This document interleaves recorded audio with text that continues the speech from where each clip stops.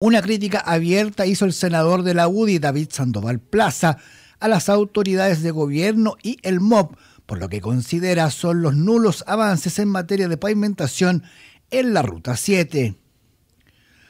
De acuerdo al congresista, en los últimos 10 años, donde han gobernado Michelle Bachelet, Sebastián Piñera y Gabriel Boric, se han comprometido un total de 260 kilómetros, logrando pavimentar en forma efectiva solamente 35, lo cual, a su entender, la principal vía de conectividad de la región podría estar lista a ese ritmo en unos 100 años.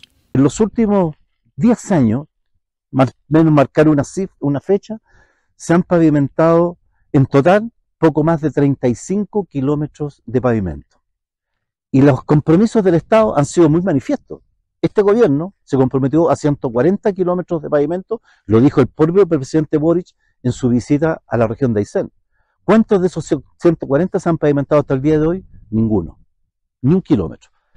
Donde está aquí es donde está el último trabajo que se hizo en la Ruta 7 ya hace varios años atrás, ninguno.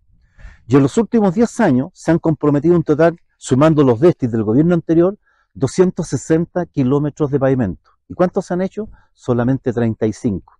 A este ritmo van a faltar más de 100 años para que este camino llegue a Yungay, llegue a Villohiggin o llegue a Tortel y termine por integrar este enorme territorio. En ese mismo sentido, Sandoval Plaza abogó porque los compromisos de la actual administración puedan ser una realidad en beneficio de los habitantes de la región. Recordemos que en la única visita a la zona por parte del mandatario aseguró que se pavimentarán 140 kilómetros, meta que está lejos de concretarse.